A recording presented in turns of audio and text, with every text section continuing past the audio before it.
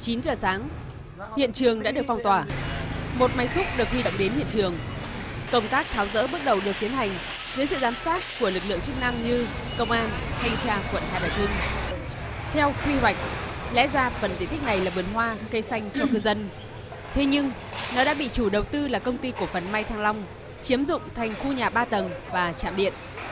Sau một năm rưỡi, cư dân nơi đây tích cực đấu tranh. Hai công trình trên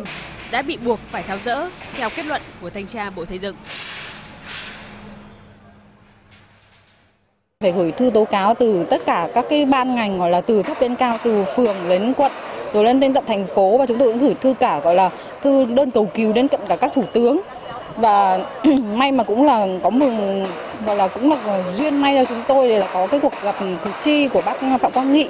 đối với cư dân chúng tôi thì khi mà bác nghe thì trình bày về cư dân chúng tôi là bác thấy hỏi rõ là bên sở xây dựng người ta nói là là mọi thứ là đúng như thế thì bác bảo thế thì chủ đầu tư sai rồi sai rồi thì phải gỡ. Thì chúng tôi đã thực hiện tốt cái công tác tuyên truyền vận động và giờ, đến giờ phút này thì các đồng chí cũng đã nhìn thấy là chủ đầu tư đã có đơn cam kết xin tự khắc phục cái, cái phần vi phạm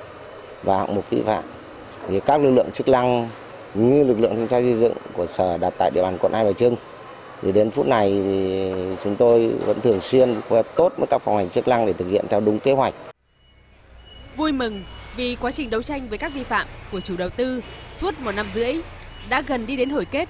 Song người dân nơi đây vẫn mong muốn các cơ quan chức năng cần giám sát, đôn đốc chặt chẽ việc thực hiện tháo dỡ của chủ đầu tư để trả lại sân chơi và thảm xanh như lời quảng cáo ban đầu của dự án. Rất là sốt ruột nên chúng tôi đã phải bỏ công bỏ việc đến đây để cùng giám sát cùng với các cơ quan và để xem xem tình hình chủ đầu tư làm việc đến đâu và các cơ quan thực hiện đến đâu. Vi phạm tại dự án Thăng Long Garden chỉ là một trong những điểm nóng về vi phạm tại nhiều dự án hiện nay. Việc tháo rỡ chỉ là xử lý hậu quả. Do vậy,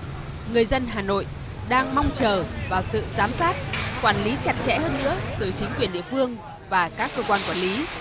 để không còn xảy ra hiện tượng đua nhau phạm luật tại các dự án bất động sản như hiện nay.